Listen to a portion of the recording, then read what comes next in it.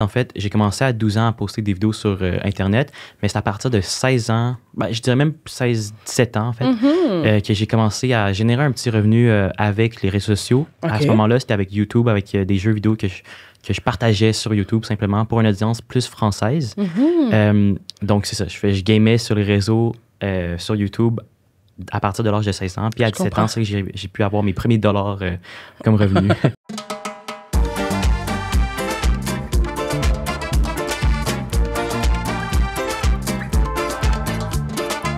Puis est-ce que tu pourrais dire que, euh, parce que là, tu me parlais un peu du contrat que tu as pogné, super. Est-ce que tu penses que de vivre au Québec, on est capable d'aller chercher les mêmes opportunités que si on vivait aux States, par exemple?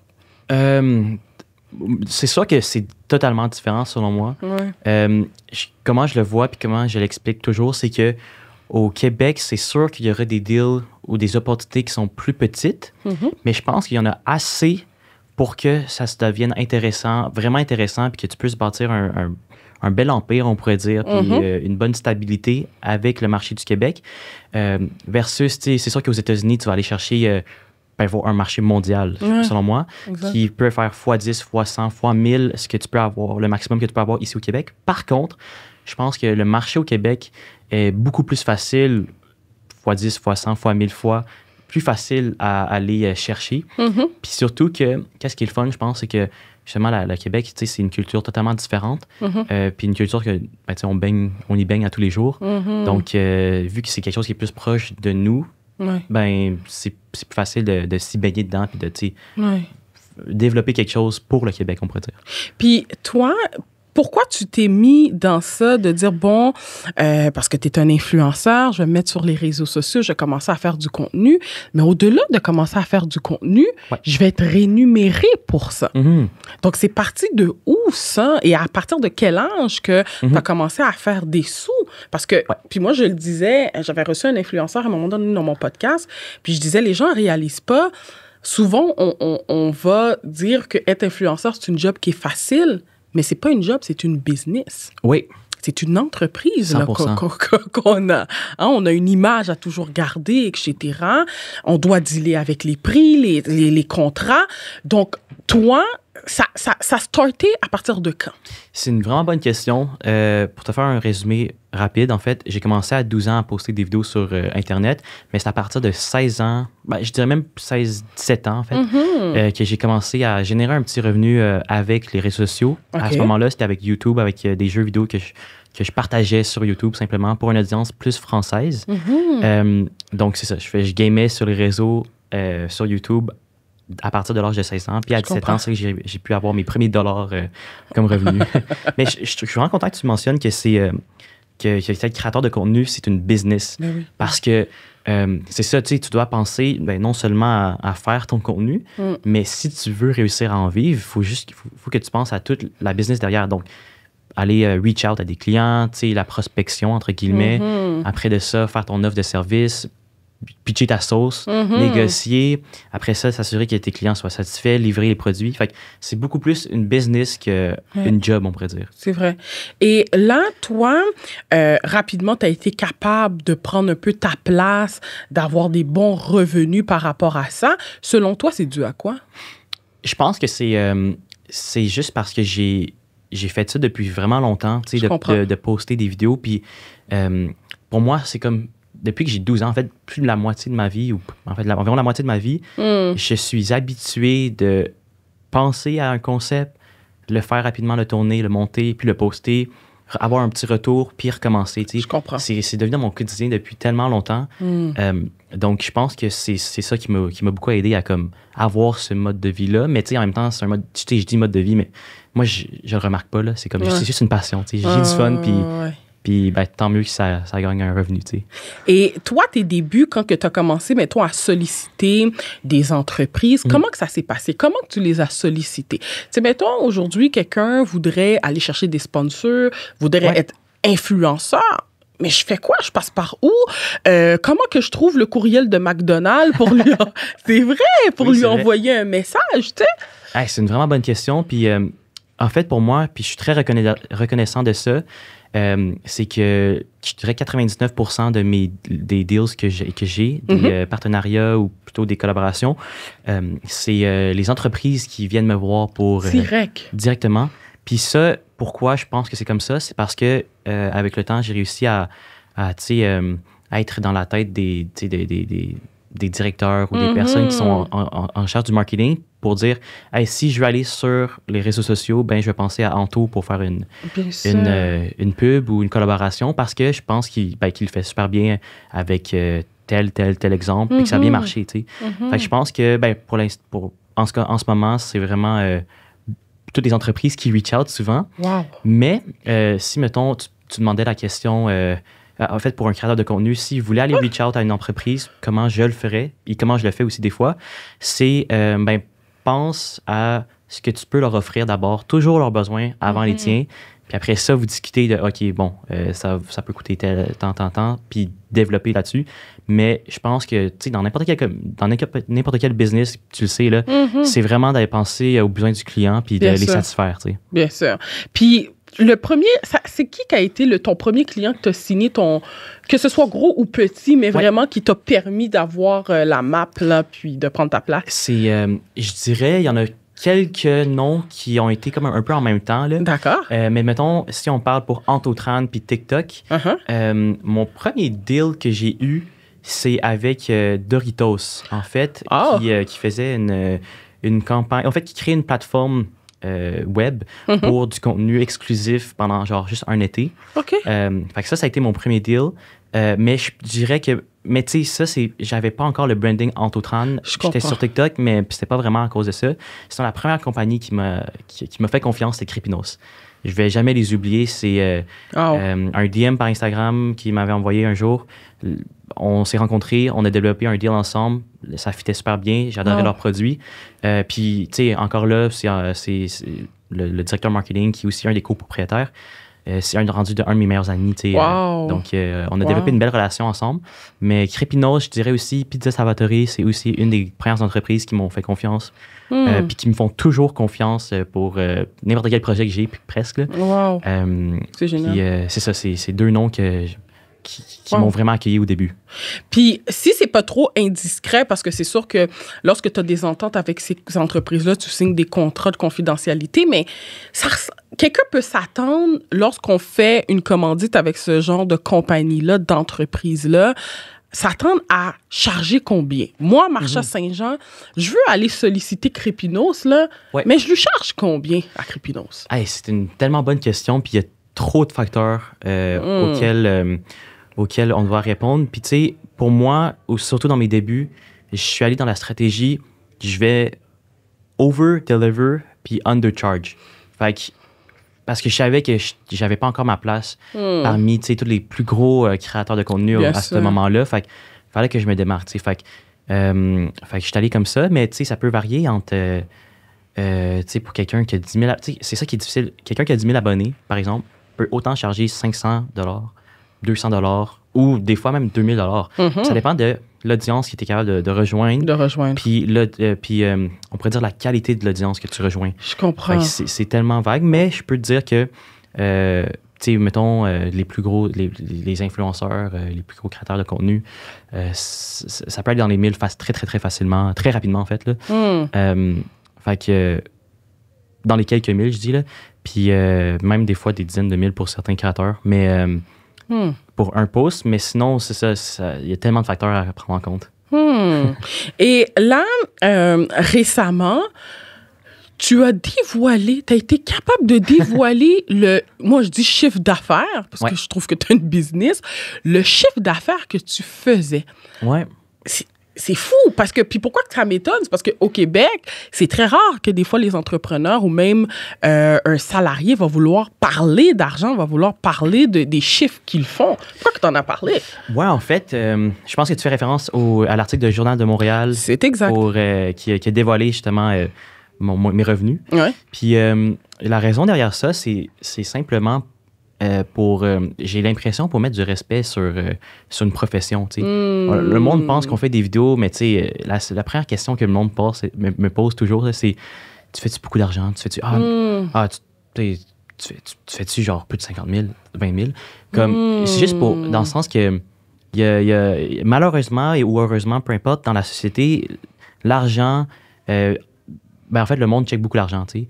Puis c'est à ce moment-là que, que, que tu vas juger quelqu'un beaucoup selon son salaire ou Oui. ce qu'il rapporte.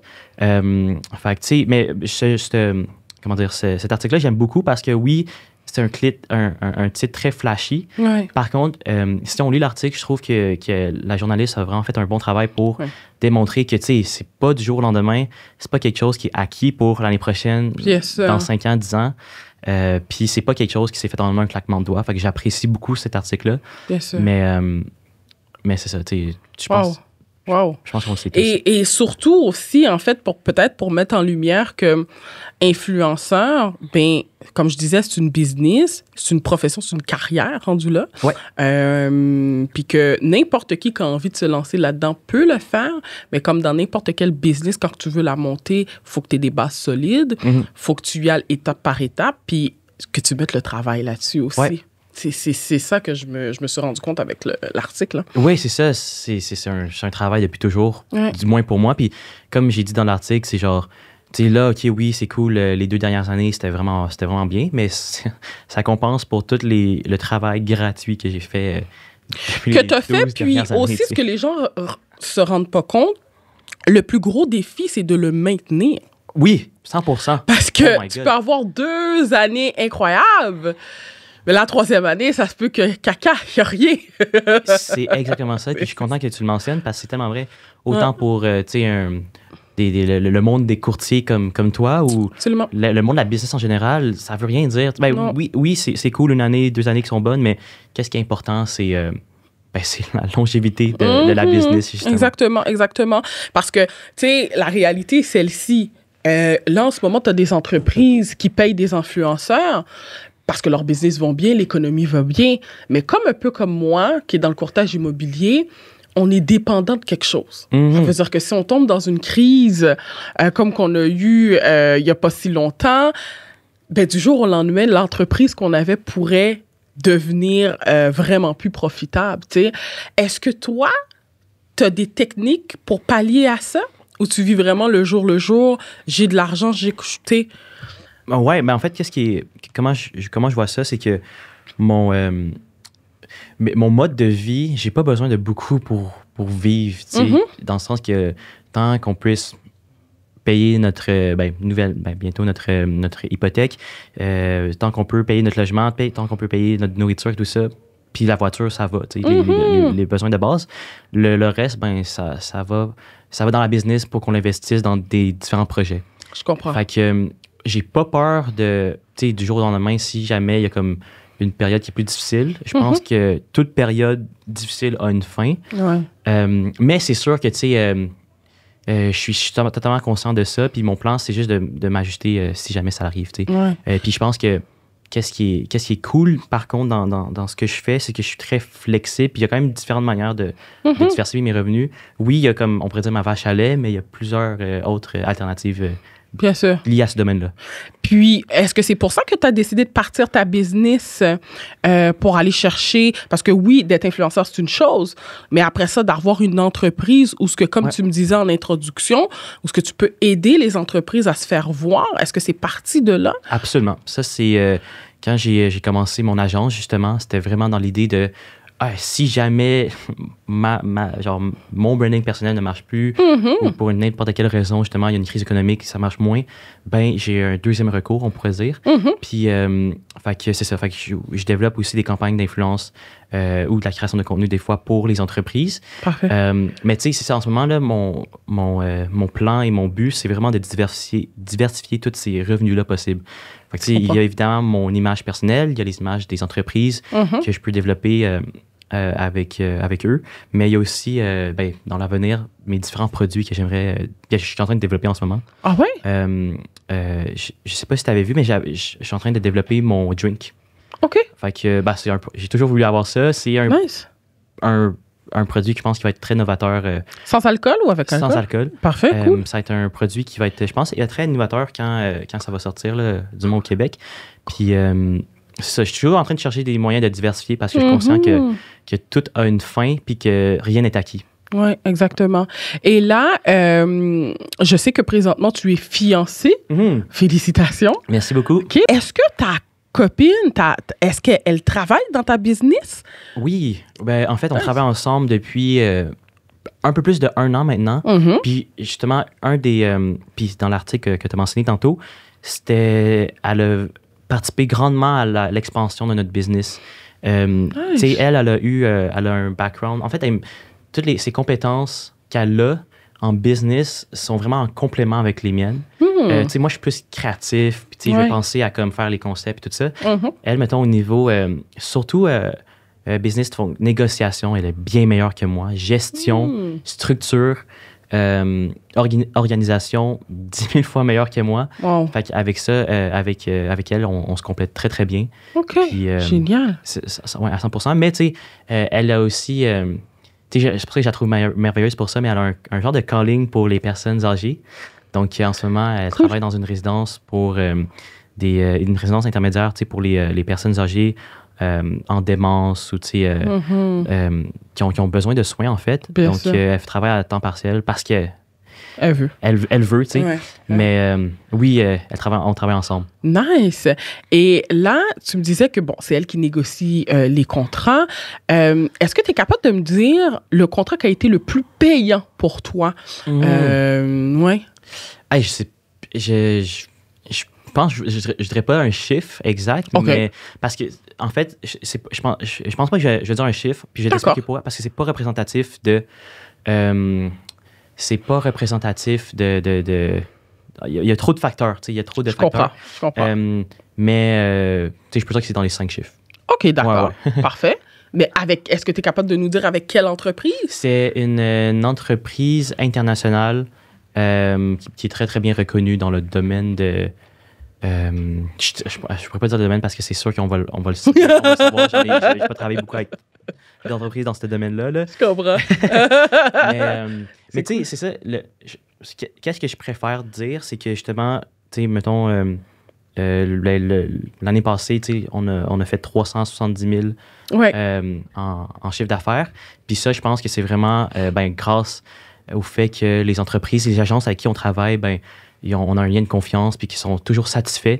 Exact. qu'ils reviennent. Ils viennent. Euh, fait que pour, pour moi, c'est pas le, Ouais. le montant le plus gros. Au contraire, moi, moi de, si c'était juste de moi, ça serait le montant le plus petit possible pour le meilleur. Comme, puis over-deliver, c'est ça que, Hmm. que, que, que moi, au début, euh, je, je visais. Avec Ellie, c'est là qu'on est allé rééquilibrer comme qu'est-ce que je vaux, qu'est-ce que, qu'est-ce que je charge pour ça, tu sais. Qu'on on équilibre tout ça pour que ce soit fair pour moi et pour Bien l'entreprise. sûr. Mais ça, tu sais, pour moi, c'est toujours la nature de over-deliver puis under-charge. C'était, Bien c'était sûr. mon... euh, Puis, est-ce que tu penses que pour faire ce que tu fais, ça demande des compétences particulières? euh, ouais, OK. je pense que... Puis c'est- je pense, je pense qu'on avait, on en avait mentionné euh, dans l'introduction. Là, là, c'est le moment de parler de nos commanditaires. Nos commanditaires qui commanditent mon podcast. Premièrement, on a Mélissa Charles de Excelsior Avocat. Si vous cherchez une avocate dynamique pour vous représenter en droit des affaires, droit de la famille, bientôt droit immigration, Mélissa Charles, c'est la personne qu'il vous faut. Pour rédiger vos incorporations, pour rédiger des contrats, vous avez des litiges, un problème familial, appelez-la. Elle va être capable de vous gérer. Deuxième commanditaire, Alex Jean-Louis, courtier hypothécaire.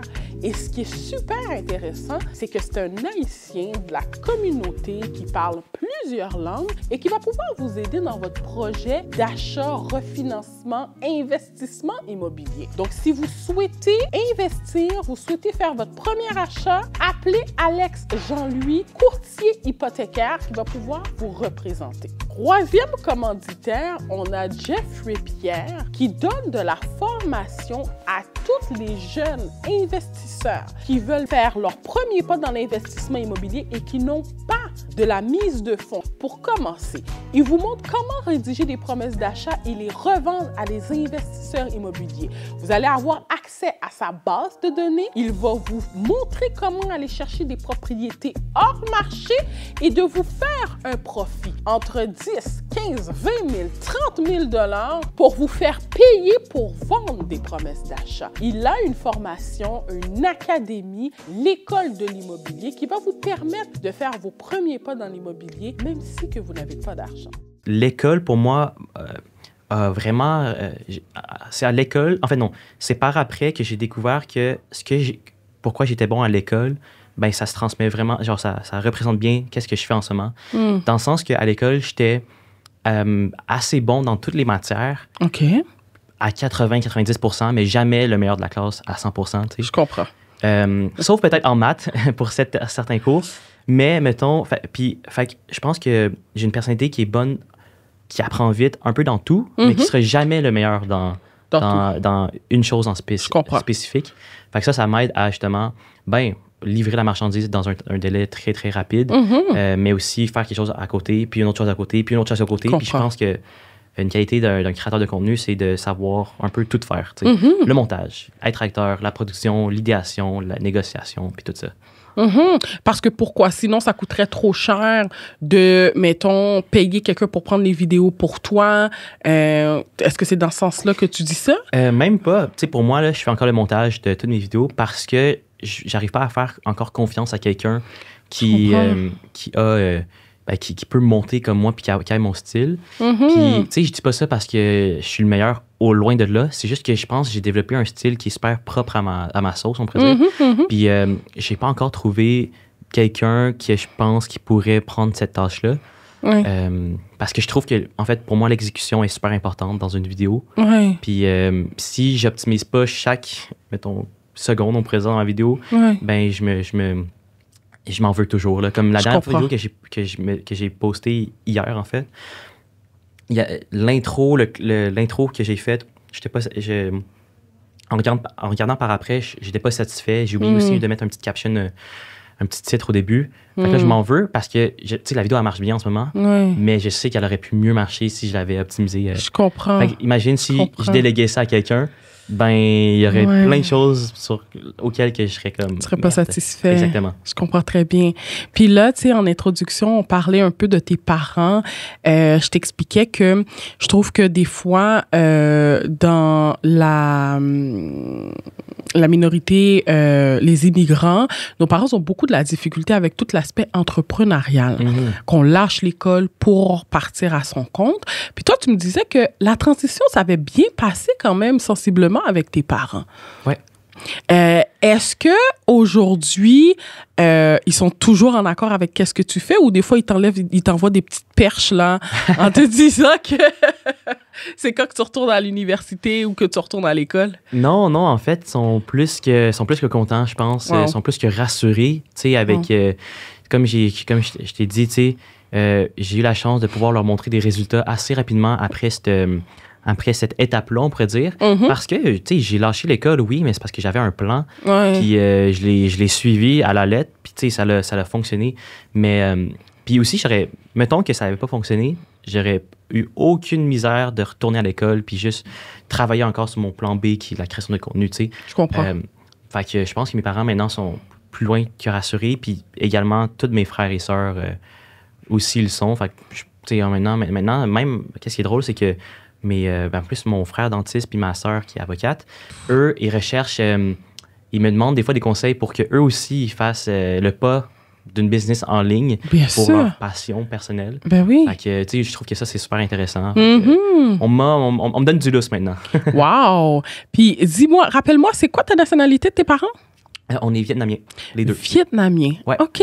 Puis, tu sais, on a toujours ce. Puis, même moi, des fois, ça m'a arrivé de faire des vidéos à cet effet, où ce que je parlais des Vietnamiens, des Yes. Chinois, que, euh, en règle générale, ben, c'est une, c'est une culture qui aime beaucoup l'entrepreneuriat. Mhm. Euh, ils vont foncer, vous avez de l'argent, puis let's go, on casse les murs.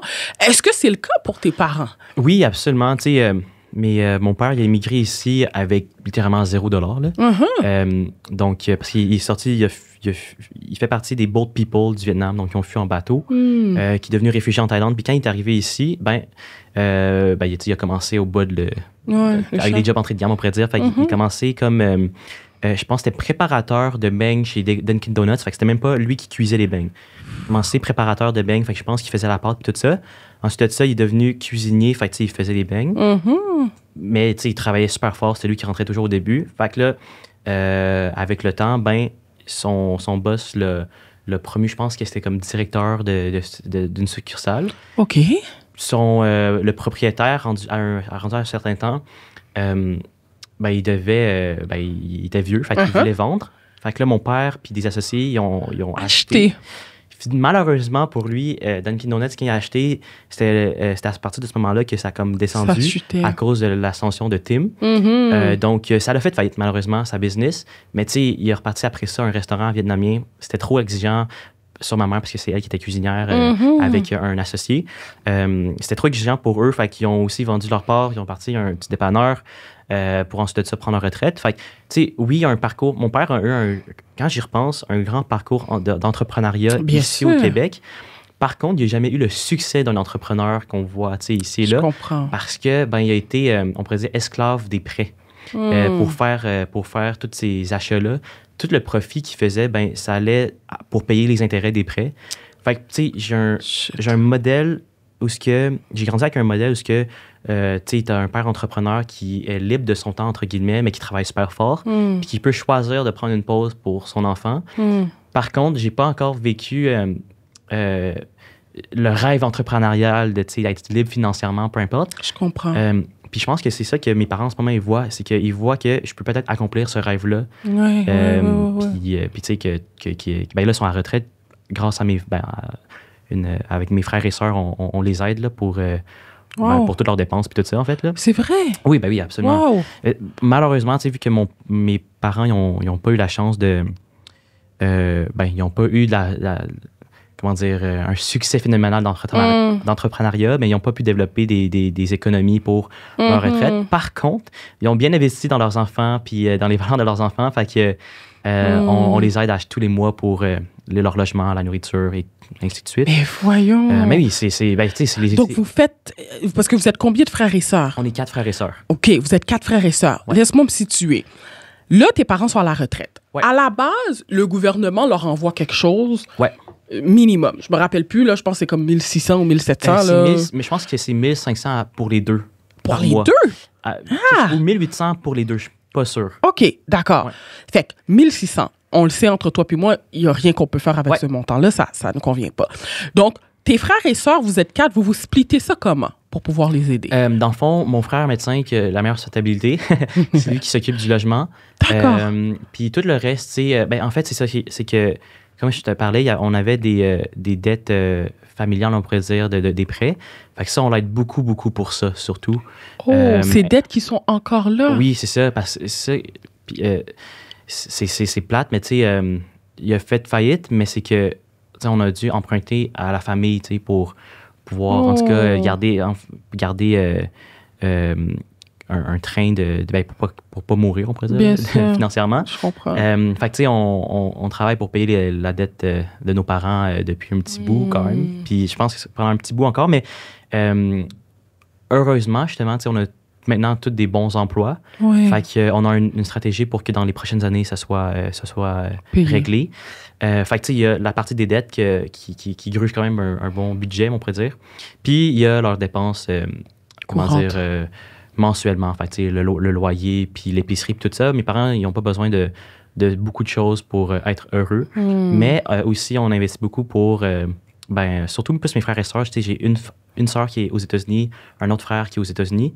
Donc, euh, euh, on, on, les invite. Ben, en fait, mes frères et sœurs les invitent souvent euh, chez eux pour garder les petits-enfants, jouer avec eux. Tout ça. Donc, bien sûr. Mais c'est fucking gratifiant. Je sais pas comment que tu te sens, toi, de pouvoir dire ben j'ai les moyens, moi et mes frères, pour pouvoir euh, donner euh, une qualité de vie respectable à mes parents parce que la réalité, c'est que tes parents auraient pu mettre des enfants au monde qui, eux aussi, sont dans marde financièrement, ouais.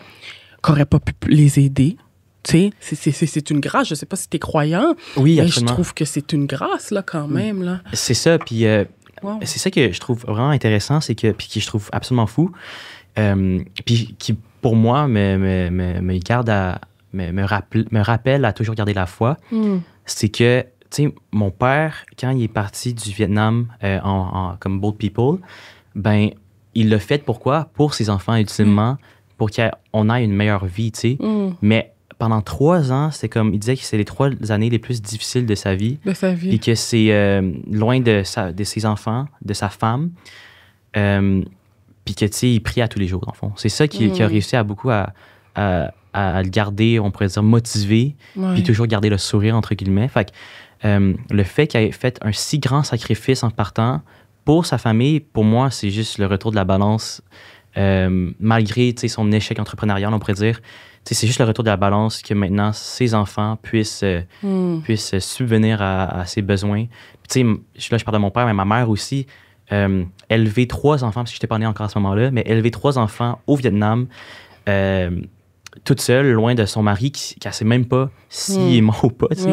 Aucune nouvelle. Il s'envoyait des lettres, là, c'est fou. Fait que, euh, fait que j'ai une grande gratitude par rapport à mes parents, puis mes frères et sœurs aussi. Donc, tu sais, c'est la- c'est juste normal qu'on les aide un peu. Là. Ouais. Puis surtout aussi que, tu sais, euh, tu me diras si je me trompe, mais pendant votre enfance, vous n'avez jamais manqué de rien. Ils ont fait Mhm. leur maximum malgré leurs problèmes financiers pour vous donner de la nourriture sur la table, vous donner de l'éducation. Écoute, trois frères et sœurs qui ont des carrières incroyables. Ça coûte des sous, là, à l'université, là. Être médecin, c'est qui qui a payé pour ton frère pour qu'il soit médecin? Ben, c'est ça, c'est fou parce que, euh, oui, en effet, quand j'ai grandi, puis mes frères et sœurs aussi, on n'a jamais eu l'impression qu'on manquait quoi que ce soit. Ouais. Même si peut-être pour eux, euh, c'était pas nécessairement facile. Heureusement, tu sais, au Québec, puis on est super reconnaissant de- de- du système québécois, c'est que, Mhm. euh, ben, tu sais, on a le accès aux prêts et bourses. Fait que pour mes, euh, mes frères et sœurs, ben, ils ont, ils ont tous bénéficié de- Mhm. des prêts et bourses. Ouais. Bon, oui, c'est ça qu'ils ont dû repayer ces prêts-là, mais Ouais. euh, comparé au, euh, comment dire, comparé à l'investissement, si on compare comme un investissement, ça, Mhm. ça a vraiment bien euh, fructifié, disons ça comme ça. Là. Euh. Mais tu sais, c'est sûr que mes parents ont fait beaucoup de sacrifices pour qu'on pour qu'on puisse sentir qu'on ne soit pas pauvre, même Ouais. si on l'était, tu sais. Ouais. Et est-ce que c'est, parce que tu le disais un petit peu tantôt, est-ce que ça fait partie de un de tes why dans la vie? Pourquoi tu fais ce que tu fais? As-tu des why dans la vie? C'est sûr que c'est sûr que oui. Euh, pour moi, j'aimerais vraiment ça que dans les cinq prochaines années, ça, ça l'arrive. tu sais. C'est euh, c'est que, euh, tu sais, là, là, je pense, mes parents, ils peuvent vivre puis pas se soucier de l'argent Mhm. euh, grâce à tous nos frères et sœurs. Mhm. Mais tu sais, pour de vrai, genre, moi, je me sens très reconnaissant d'avoir ces trois, ben, deux, deux frères et une sœur là, Mhm. parce qu'ils ont réussi à avoir, euh, à aider mes parents d'une manière incroyable, financièrement, surtout euh, depuis au moins, je dirais, genre, 10 ans déjà, Oh, tu sais, parce que ils sont sont vraiment plus vieux que moi, là, fait ont, ils ont commencé leur carrière plus tôt.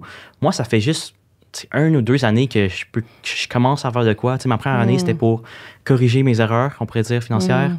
La deuxième année, cette année-ci, c'est comme, OK, je peux commencer euh, à, à investir dans mes projets Bien sûr. et, euh, et, euh, et à aider mes parents et tout ça. Mais, euh, mais, mais tu sais, mes frères, j'aimerais ça pouvoir redonner à mes frères et sœurs qui ont tellement pris soin de mes parents, Mhm. euh, puis que, genre, un peu pour les remercier que je sois late au party, on pourrait dire. Là.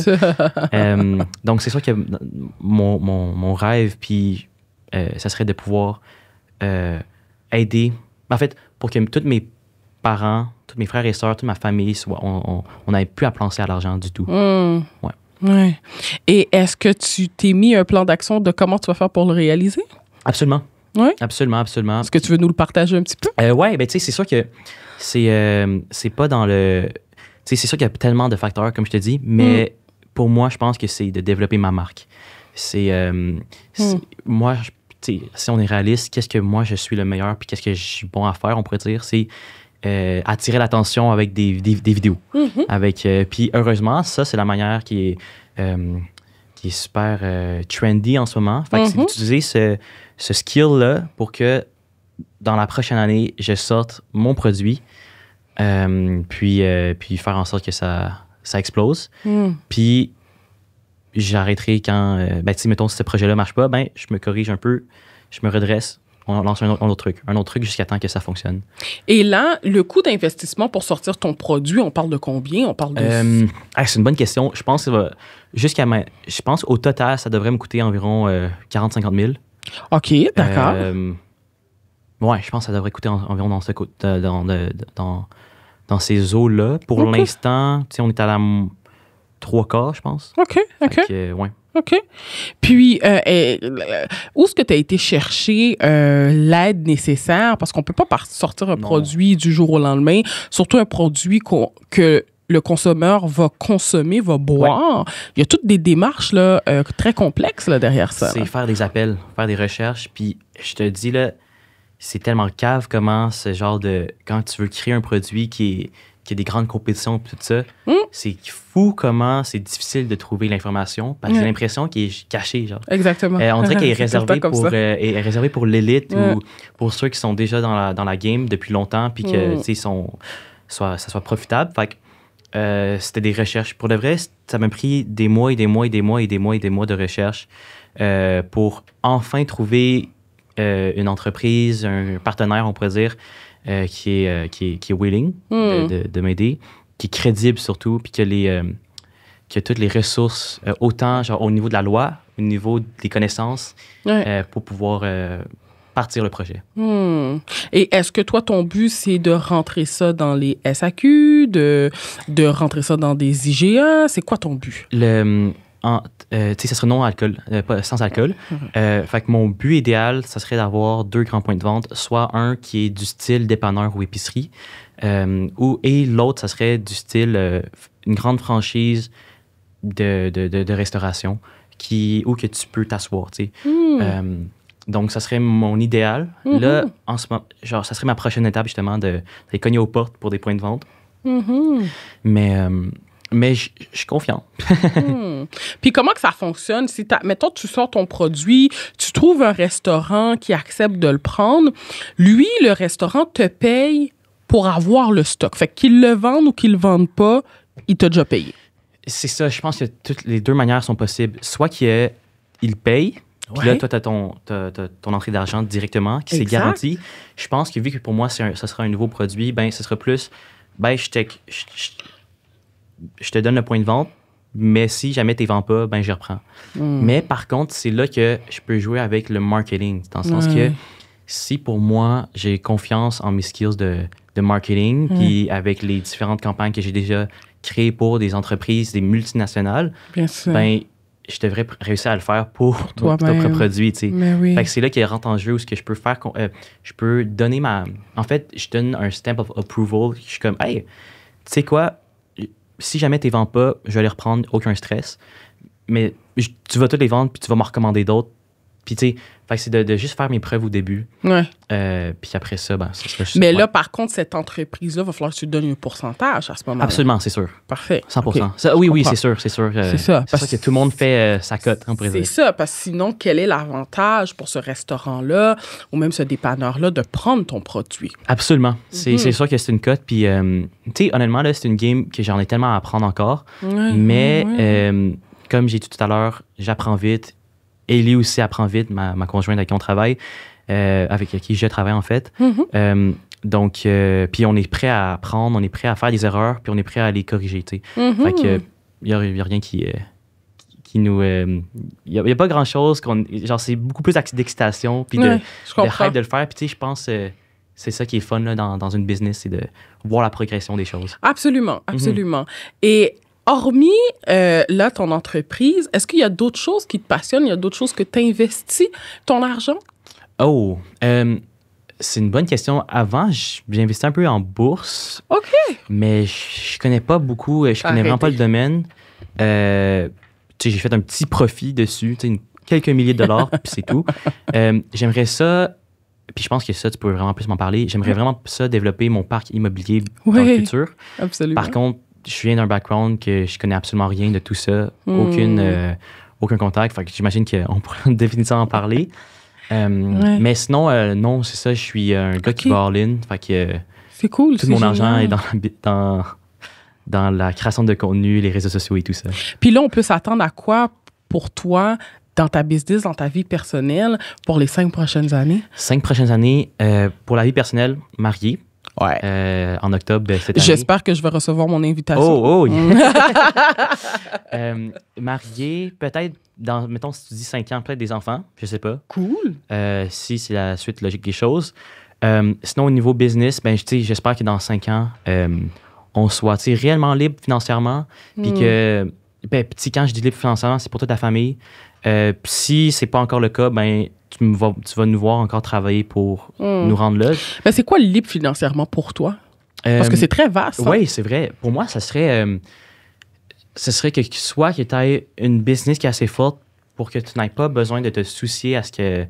Euh, peu importe la, la, vari- la- la variation de si c'est un bon, une bonne économie ou pas, Mhm. ben, que tu as toujours un revenu euh, qui rentre sans nécessairement.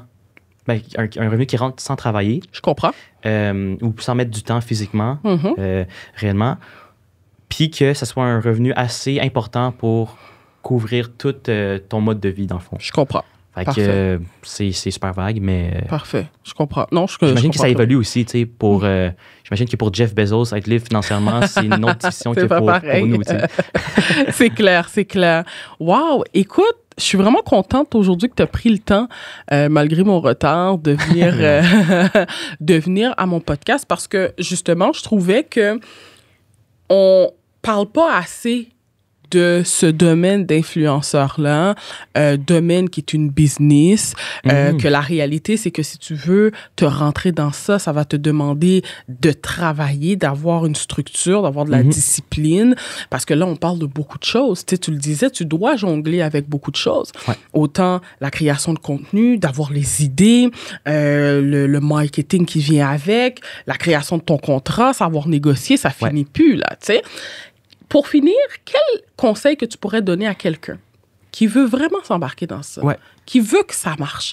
Il a les meilleures intentions, mais si, il sait pas par où passer, il sait pas par où commencer. C'est une vraiment bonne question. Euh, D'abord, pour commencer, puis si tu veux entrer dans ce domaine-là, je pense qu'il faut vraiment que tu le fasses par passion. Il faut Ouais. que tu aies une motivation à le faire parce que c'est sûr à 100% que tu ne verras pas de résultats dès le début. Mm. Et ça, si tu n'es pas passionné, c'est super démotivant. Ouais. Fait que de un, c'est la passion que je- qui, qui est nécessaire. Euh, puis deuxièmement, tu sais, je pense que c'est vraiment d'observer, puis euh, d'observer ce qui se fait autour, Mm. puis soit d'être différent ou meilleur, simplement. Ouais. Par contre, je pense qu'il faut être. Qu'est-ce qui est vraiment important aussi, c'est de d'avoir une vision, une vision honnête de toi. Donc, si tu te regardes, tu, tu te regardes puis tu te dis, OK, je pourrais améliorer ça, ça, ça, puis pas te mentir à toi-même. Des fois, on se ment à nous-mêmes comme, ah non, je suis déjà très, très bon pour ça. Non, non, il y, a- il y a toujours quelque chose qui peut Ouais. que tu peux t'améliorer.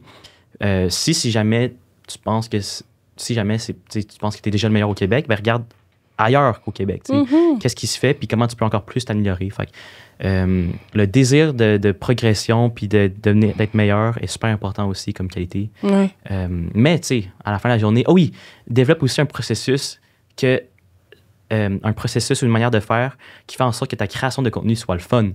Fais pas des Je vidéos, comprends. genre, oblige-toi pas à faire genre 7 vidéos par semaine, fait une par jour, de sujets qui t'intéressent pas. Fais- Mm. À la place, fais-en une par semaine d'un sujet qui te passionne, Oui. puis que tu vas pouvoir y travailler euh, plus longtemps, de développer, puis rendre la qualité meilleure. Euh, donc, c'est vraiment de, de créer ce processus-là. Euh, puis, un mix de tout ça qui est important. Puis est-ce que toi, mettons, tu donnes un service pour aider les entrepreneurs qui veulent se lancer là-dedans euh, dans ta business?